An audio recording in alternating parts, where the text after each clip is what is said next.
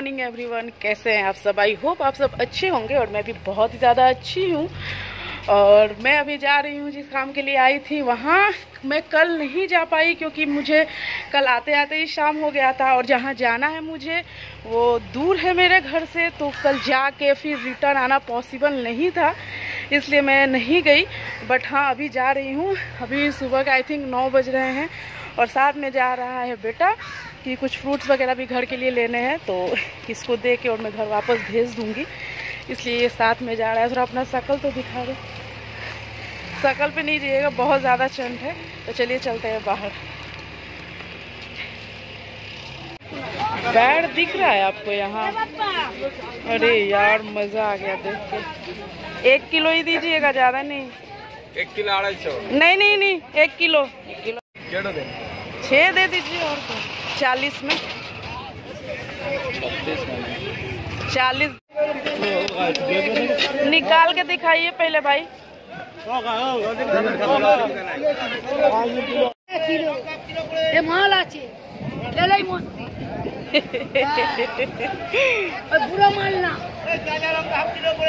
और इतनी ज़्यादा गर्मी है। बिहार में है ठंडी और यहाँ आने के बाद गर्मी इतनी ज़्यादा लग रही है। हम लोगों को जो फ्रूट्स लेना था वो ले लिए। अब बेटों को बैठाते हैं गाड़ी पे, क्योंकि घर से थोड़ा दूर आए थे, सब्ज़ी मंडी।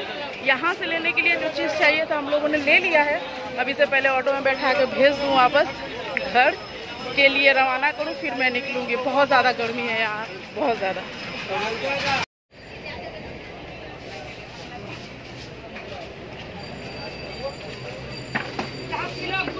और अभी चल रही है इनकी नाश्ता, क्योंकि ये मेरे साथ आए और इनका डिमांड ना हो कि ये बाहर खाएँगे।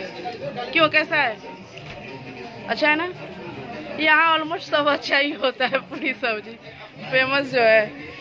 जो चीज़ें लेनी थी वो मैंने ले लिए और इसे अभी नाश्ता कर रहा था। नाश्ता का टाइम हो ही चुका है, दस बजने वाले हैं। तो मैंने बोला कि चल भाई, तू खा ले पहले। उसके बाद ही जाना है, क्योंकि ये मेरे साथ आएगा और इसकी फरमाइश तो रहेगी ही रहेगी। तो बस ये खाएगा देन इसको छोड़ के उसके बाद मैं निकलूँगी और इतनी ज़्यादा यहाँ गर्मी है, पूरा क्लाइमेट चेंज हो गया है। ये टी शर्ट मैं पहन के आई हूँ, मुझे समझ नहीं आ रहा है कि मैं क्यों पहन के आई हूँ, क्योंकि इसमें इतनी ज़्यादा मुझे गर्मी लग रही है। यहाँ का वेदर बिल्कुल चेंज है, बहुत ज़्यादा गर्मी है यहाँ कोलकाता में, बहुत ही ज़्यादा। मिलती हूँ थोड़ी देर में आपसे। अभी मैं घर आ गई हूँ, जी हाँ मैं अभी जस्ट आई हूँ मतलब पाँच मिनट भी नहीं हुआ है मुझे आए हुए। और मैं क्या खा रही हूँ? एक सेकंड में दिखाती हूँ। आप देख लो पहले। ये है खिचड़ी। बेटा, चलेंगे। तो कर, खरीद देंगे। और ये खिचड़ी, कोई ऐसी वैसी खिचड़ी नहीं है। ये बंगाल का सबसे फ़ेमस है, जो कि यहाँ प्रसाद के रूप में मिलता है। आप लोगों को पहले मैंने बताया है। तो मैं आज घर के बगल में एक बजरंग बली का और माँ काली का मंदिर है। तो आए दिन कोई ना कोई वहाँ पे ये प्रसाद बनवा के भोग चढ़ाता है। और मैं इतनी लकी हूँ मैं कि जब भी आती हूँ तो मुझे ये प्रसाद मिल ही जाता है। और आज भी मिल गया तो मैं घर पे सबके लिए लाई कि सब एक एक चम्मच खा लेंगे। और इसका स्वाद एनी टाइम आपको एक जैसा ही देखने को मिलता है। मतलब औसम मैं इसको फटाफट फिनिश करूँगी। और घर पे बनेगा गाजर का हलवा, जो कि मैं बनाऊँगी, क्योंकि यहाँ पे और कोई मेरी तरह गाजर का हलवा नहीं बनाता। आह, मैं I proud of my self तो पहले मैं इसको फिनिश करती हूँ। वैसे तो मैं पूरी टायर्ड हो चुकी हूँ बट हलवा बनाने के बाद ही मैं बेड पे रिलैक्स करने जाऊँ, क्योंकि एक बार थकान हो जाने के बाद ना कोई काम नहीं होता। तो पहले मैं प्रसाद अपना एंजॉय करती हूँ, फिर मैं हलवा बनाऊँगी। और आप लोग इंतज़ार कीजिए उस गाजर के हलवे की रेसिपी का। जो मैं आपको लोग शेयर करूँगी और दिखाऊँगी भी। क्या है? लूडो छक्का बोलते हैं उसको। ठीक है रखो थोड़ा पानी लाओ मम्मा पानी पिए बेटा।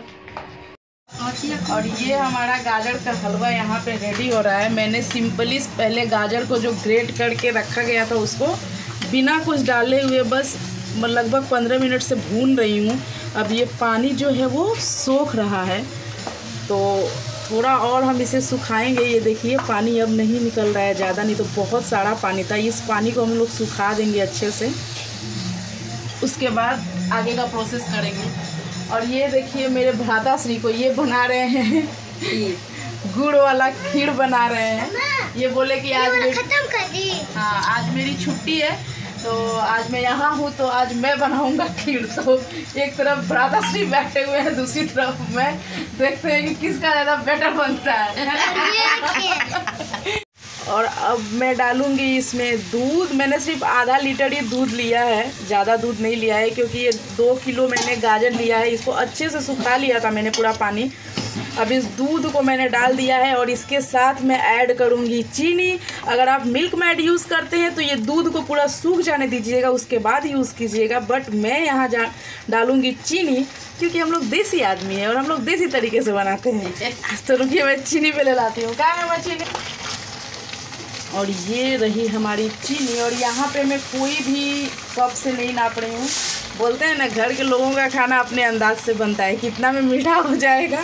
आप लोग भी उसी हिसाब से डाल के बना लीजिएगा। मैं ज़्यादा मीठा नहीं बनाऊँगी। अगर कम मीठा लगेगा तो बाद में ऐड करूँगी। फ़िलहाल मुझे लग रहा है कि इतना चीनी इनफ होगा इतने हलवे के लिए। तो बस इसे हम लोग अच्छे से भूनेंगे और भूनते हुए पूरा दूध और चीनी सूख जाना चाहिए गल के।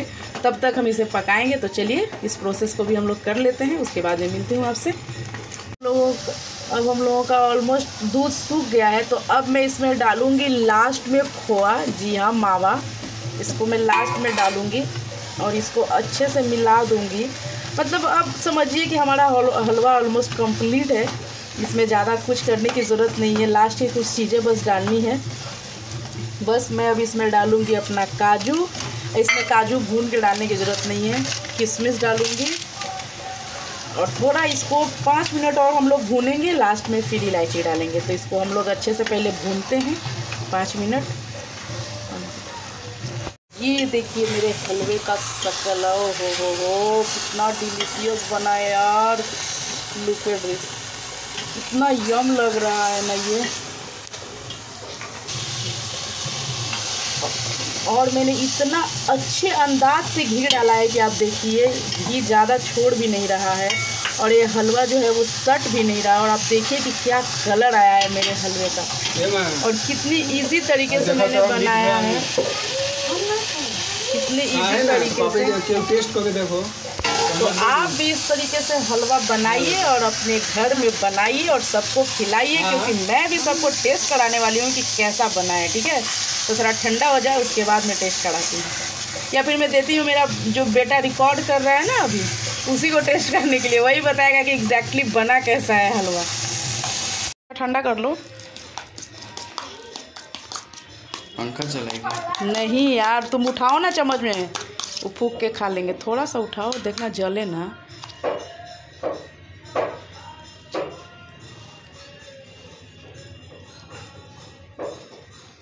और अब देंगे पापा अपना राय कि कैसा बना है हलवा। कैसा है? स्वीट थोड़ा सा कम है बाकी टेस्ट वगैरह कैसा है? मस्त है ना तुम खा के देखो मज़ा आया? एकदम अच्छा बना है? हाँ, मीठा ठीक है ना? चलो। ले। हाँ।